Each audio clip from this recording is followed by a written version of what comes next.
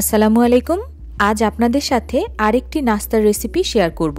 আর তা হচ্ছে Korean street food স্টাইলে স্যান্ডউইচ বা টোস্ট। রেসিপিটা আমি নেট থেকে নিয়ে বাড়িতে ট্রাই করেছিলাম। আমার কাছে ভালো লেগেছে, তাই আপনাদের সাথেও শেয়ার করছি।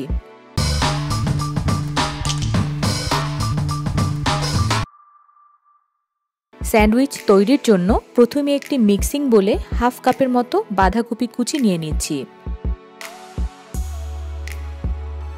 অ্যাড করছি হাফ কাপের মতো পেঁয়াজ পাতা কুচি।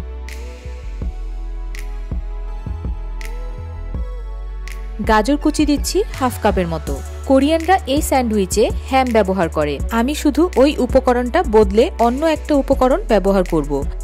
এখন দিয়ে দিচ্ছি দুটো ডিম। সেই সাথে পরিমাণ মতো লবণ। সামান্য কালো গোলমরিচের গুঁড়া। পেঁয়াজ দেয়া হয়নি।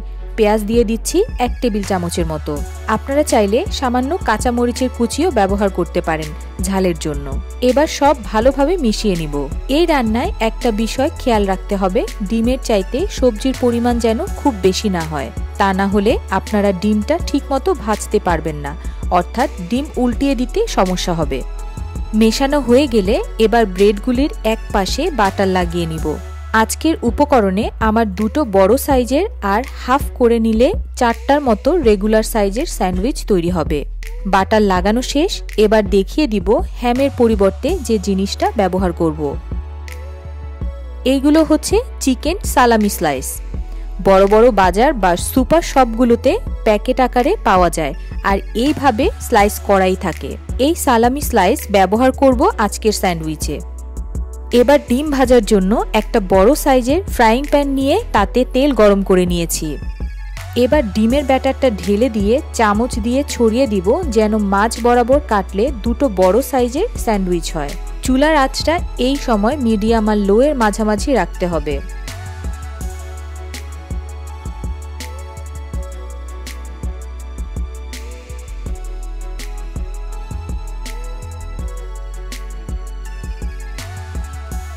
উল্টানোর সুবিধার জন্য মাছ থেকে কেটে দিচ্ছি।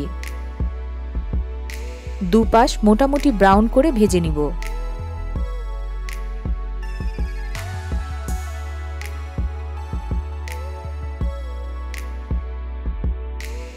ভাজা হয়ে গেলে তুলে নিচ্ছি।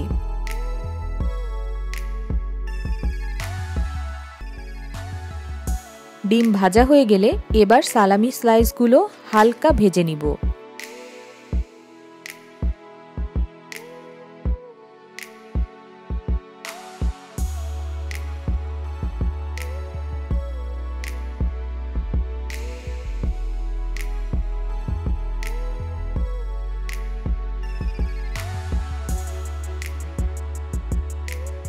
এবং সব শেষে ব্রেডগুলো হালকা ব্রাউন করে সেকে নিতে হবে।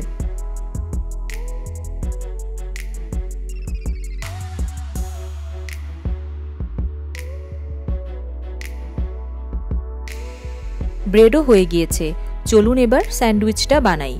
বাকি কাজটা কিন্তু খুবই সহজ, আপনারা সবাই জানেন। এখন শুধু একটার উপর আরেকটা রেখে সাজিয়ে নিলেই হবে। প্রথমে ব্রেড, তার উপর ডিম।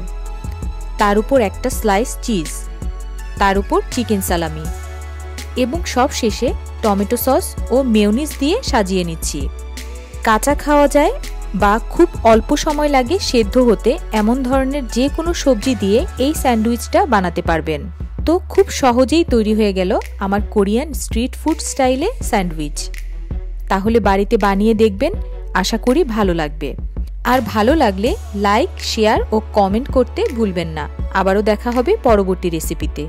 ভালো থাকবেন, ধন্যবাদ।